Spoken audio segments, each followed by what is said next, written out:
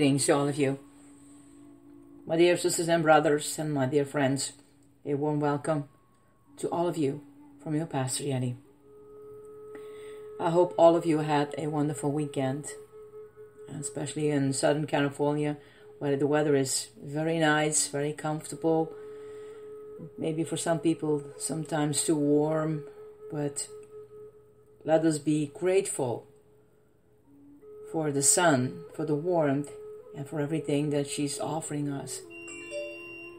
Some people have less of this. So, blessings to all of you in a new week.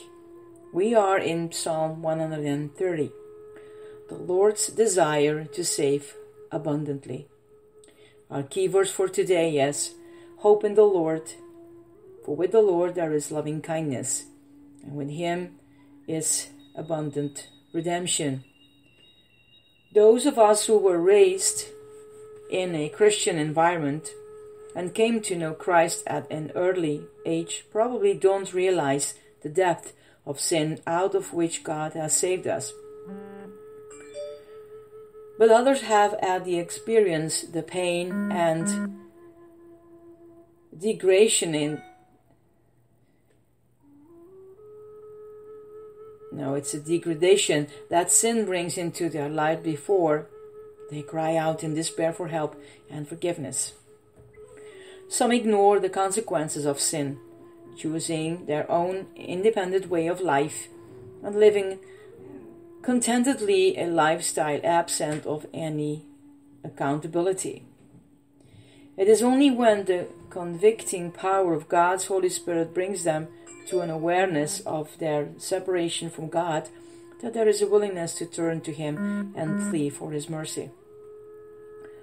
Sooner or later, everyone needs to realize that no one has any merit or goodness to stand before God without being judged and condemned. The prevailing concept of most people is that we should have no fear of God's judgment as long as our good deeds outweighed our bad. But God's judgment will not be on the basis of our relative's goodness.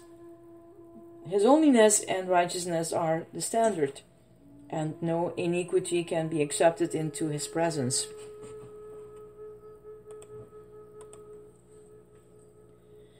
All of our good deeds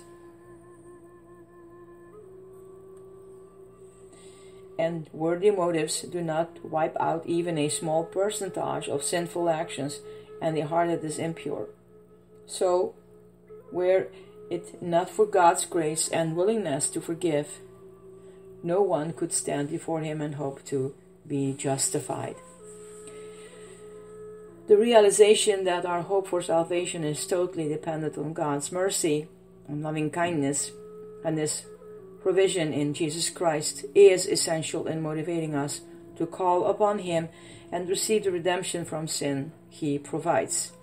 Our only hope is in Him, and that hope is based on believing the truth and the reliability of what He has told us in His Word. Have you ever spent a restless and sleepless night waiting for the dawn, knowing that day would bring a different perspective and relief from anxiety? That is like the struggle of the soul when one sends his bondage to sin and comes to the conviction that Christ is the answer. Striving to come to that point of faith when God will bring peace and assurance is like a watchman in the night looking forward to the dawn when the dancers, uh, I mean, dancers, excuse me, when the dangers and potential, what a difference, treat vanish with the sunlight. Excuse me for this using the wrong word. Like Israel, our only hope for salvation and the only possibility of standing justified on the day of judgment is in the Lord, just as He continually forgave Israel when they transgressed His laws and lived in iniquity. He forgives us, for He is a loving God. His nature is one of mercy and grace, because his greatest desire is to give us a restored and restored us to fellowship with Him. No matter how far we sink in the depths of sin, He not only offers salvation, but He offers it abundantly, even for those of us who are saved and find ourselves away from God in sin. We can know that God doesn't forgive grudgingly.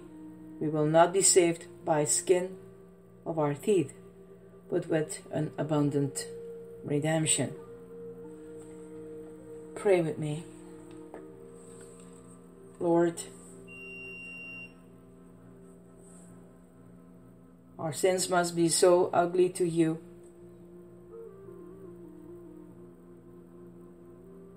And we unworthy to come before you and stand in your presence. Thank you for loving kindness, for your loving kindness that is poured out in our abundance. Poured out in abundance because I believe and we believe your word, and you are the hope and assurance of our salvation.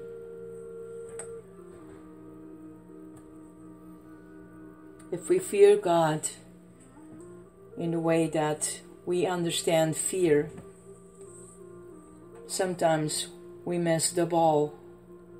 I'll say it very simple. Fearing God is not being afraid of God, but giving Him the full respect, glory, worship, and honor.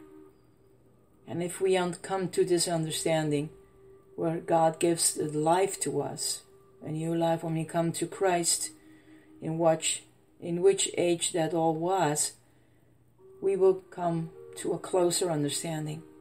And the more we understand His presence, the more we will understand that fear is totally different than of the world. God relieves us from every burden because Christ brought it all on the cross. He bare it for us and He still bare it for us. The only thing that He's asking is that we live a life respectful to others, to Him, in all that He gave to us. Give Him the glory and the honor, my dear ones. Blessings to all of you, my dear ones. This is your Pastor Jetty. I love you guys. Bye.